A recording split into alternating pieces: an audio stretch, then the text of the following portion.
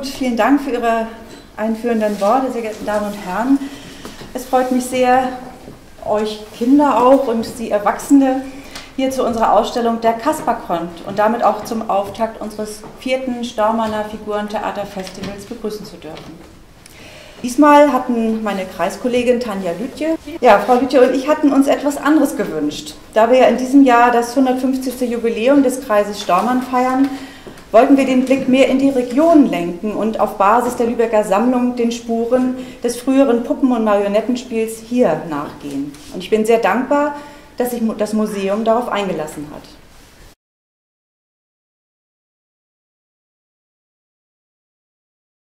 Puppentheater, Figurentheater, Kaspertheater, Kunstfigurentheater. Es gibt viele unterschiedliche Begriffe, die herumschwirren, wenn von Bühnenspiel mit animierten Figuren die Rede ist.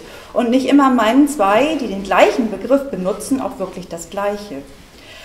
Warum das alles so kompliziert ist, davon erzählen uns die Puppenspieler, so nenne ich sie jetzt hier mal, mit denen wir uns in dieser Ausstellung beschäftigen, eine ganze Menge.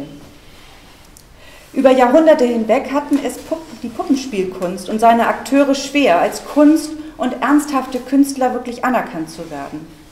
Ein Blick auf die Hinterlassenschaft der Puppenspielerdynastie Winter, die wir hier mit einem großen Anteil Puppen in der Ausstellung haben, zeigt uns eindrucksvoll, wie sehr sie um Anerkennung kämpften. Karl Winter Senior wurde auch nicht müde, seine kostbare Marionettenbühne vom gewöhnlichen Kaspertheater abzugrenzen, obwohl seine Bühne selbstverständlich auch einen Kasper hatte. Zum Beispiel im Dr. Faustus. Von diesem Dr. Faustus zeigen wir auf dieser Bühne hier zwei Szenen, einmal in der Studierstube und einmal am Hofe des Herzogs von Parma. Das Stück ist ein Klassiker der Puppenspielkunst und ist nicht zu verwechseln mit der Faustfassung von Goethe. Es gehörte zum ständigen Repertoire der Winters und wurde 1962 in Berlin gar verfilmt. Als die Wintersche Marionetten-Barockbühne 1958 in Lüttich im Rahmen der Weltausstellung als kostbare, lebendige Antiquität geehrt wurde, fiel häufig der Vergleich mit Theodor Storms Pole Pappenspieler, eines der wichtigsten Zeugnisse des Wandermarionettentheaters in der Mitte des 19. Jahrhunderts. Hier wie da musste man sich gegen Vorurteile gegenüber Fahrenden behaupten. Eine Wanderbühne zu haben und gleichzeitig sesshaft zu sein, das war das Ziel.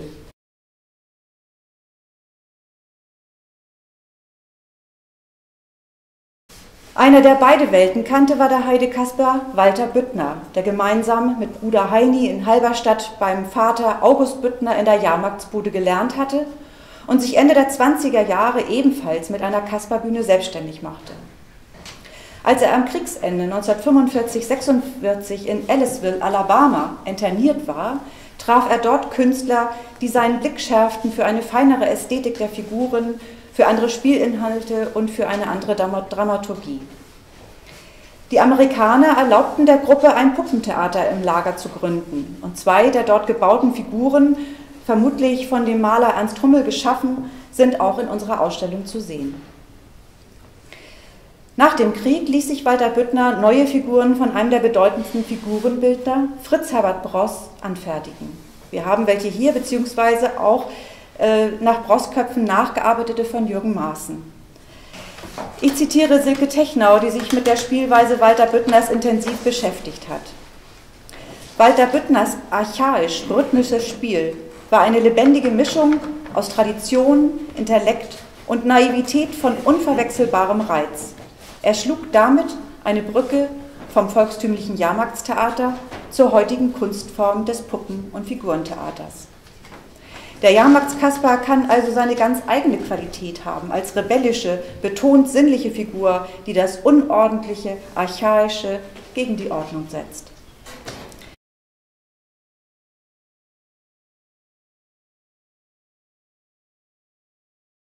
In der Nachkriegszeit erlebte das Puppentheater nochmal eine richtige Neugründungswelle. Einer, der erst durchs Kriegsende zu den Puppen fand, ist Fritz Fey senior, der 1945 im Lazarett in Grömitz den Kieler Puppenspieler Paul Thiele traf und von ihm das Schnitzen mit einem alten Skalpell lernte. Im Gegensatz zu all denen aber, für die Puppentheater nur ein kurzfristiger Broterwerb war, entwickelte sich Fritz Pfeil schnell und ehrgeizig weiter. Er lebte zunächst in Lensahn, später in Mölln und begann bereits 1947 mit seiner Ehefrau Ingeborg, die Musik studiert hatte, neben dem Handpuppen auch mit dem Marionettenspiel. Seine Figuren baute Fey selbst und experimentierte dabei mit unterschiedlichen Schnitztechniken, mit Modellierungen und Materialien, wie sie an vielen ausgestellten Figurenköpfen und den chinesischen Figuren auch zu sehen ist, diese Unterschiedlichkeit. Fritz Fey spielte Sagen, Märchen, Mozart-Opern. Seine Regentrude von Theodor Storm wurde zum Erfolgsstück. In unserer Ausstellung sind mehrere Figuren aus diesem Stück zu sehen. Fey ging auf Tourneen in die Schweiz, spielte im Auftrag des Goethe-Instituts in Frankreich und Ende der 50er Jahre wurde das Fernsehen aufmerksam auf seine Figur Fiete Appelschnut. Fiete Appelschnut wurde von Ingeborg Fey gespielt und war in über 100 Filmen zu sehen. Das ist so, wie gesagt, Ende der 50er, Anfang der 60er Jahre gewesen.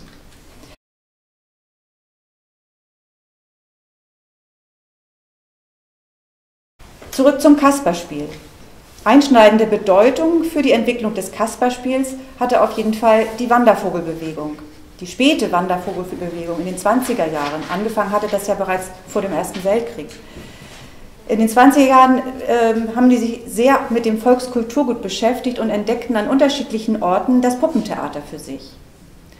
Es entwickelten sich erzieherische und sozialkritische Stücke. In Berlin ist zu nennen Karl Iwowski, in Kiel Werner Perrey und in Hartenstein im Erzgebirge und später in Hohenstein in der sächsischen Schweiz Max Jakob. Er war ursprünglich Buchhalter und sollte aber am berühmtesten werden von den Hohensteinern, von, den, von dieser neuen Bewegung. Er ließ sich inspirieren vom Branchen Marionettentheater Münchner Künstler.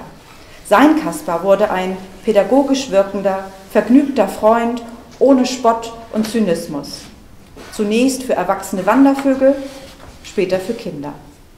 Die Spieler sprachen Alltagssprache, und die Stücke behandelten oft Themen des täglichen Lebens. Theo Egging, ein Wandervogel aus Riga, schuf für Max Jakob den passenden Kasper-Kopf. Der Kasper wurde kleiner, leichter und beweglicher. Er eroberte damit auch den Raum hinter der Spielleiste und bekam Stoff statt Holzhände, um Gegenstände greifen zu können. Einen der berühmten Egging-Kasper sehen Sie ganz hinten in der Vitrine rechts.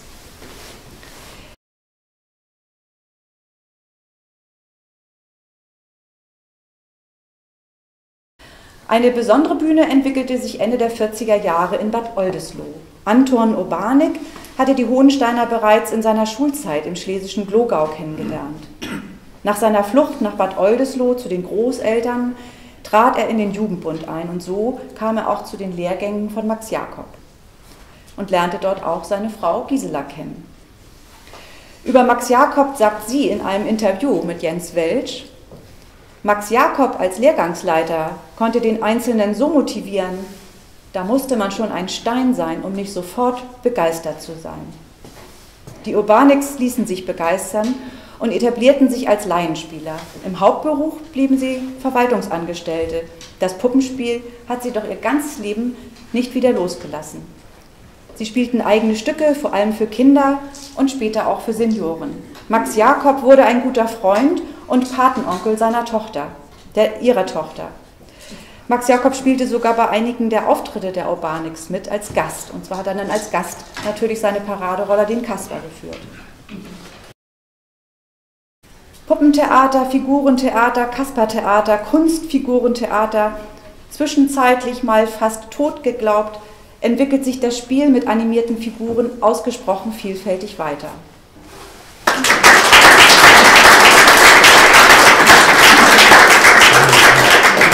Also ich weiß ja nicht, was Frau Dr. Lapp erzählt hätte, aber das, was Sie uns in der Geschichte des Figurentheaters jetzt vermittelt haben, fand ich schon eine fantastische Leistung. Ich bin froh, dass wir dieses 150-jährige Jubiläum feiern und dass wir diese Geschichte des Marionettentheaters auch aufgezeigt bekommen. Und dass Stormann so stark daran beteiligt war, das war mir nicht so bekannt, aber das ist jetzt die Geschichte, die aufgearbeitet wird. Und deswegen nochmal recht herzlichen Dank, dass Sie sich so kurzfristig die Zeit genommen haben, uns in diese Welt eintauchen zu lassen. Und für die Zukunft bin ich mir dann ganz sicher, dass es eine ganz tolle Sache wird hier in Rheinbeck. Vielen Dank noch.